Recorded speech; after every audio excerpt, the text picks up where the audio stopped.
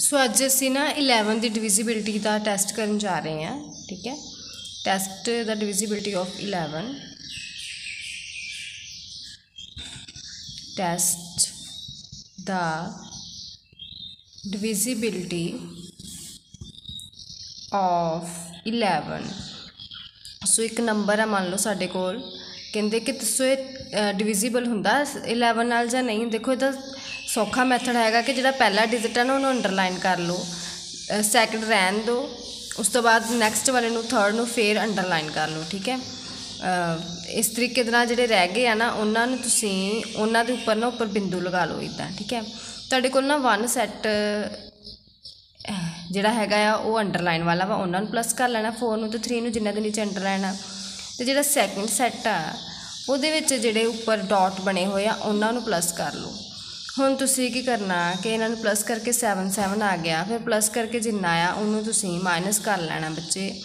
ਤੇ ਮਾਈਨਸ ਕਰਕੇ ਕਰੋਗੇ ਤੇ ਜ਼ੀਰੋ ਆ ਗਿਆ ਨਾ, ਤਾਂ ਵੀ ਤੁਹਾਡਾ ਆਨਸਰ ਯੈਸ ਆਣਾ yes it is divisible by 11 ਜੇਕਰ ਤੁਹਾਡਾ ਜ਼ੀਰੋ ਨਹੀਂ ਆਂਦਾ ਹੈ ਨਾ ਕੁਝ ਹੋਰ ਆ ਜਾਂਦਾ ਡਿਜਿਟ ਤੇ ਫਿਰ ਉਹਨੂੰ ਉਸ ਡਿਜਿਟ ਨੂੰ 11 ਨਾਲ ਮਲਟੀ ਡਿਵਾਈਡ ਕਰਕੇ ਦੇਖਣਾ। ਆਓ ਨੈਕਸਟ ਕਰਕੇ ਦੇਖਦੇ ਹਾਂ ਆਪਾਂ।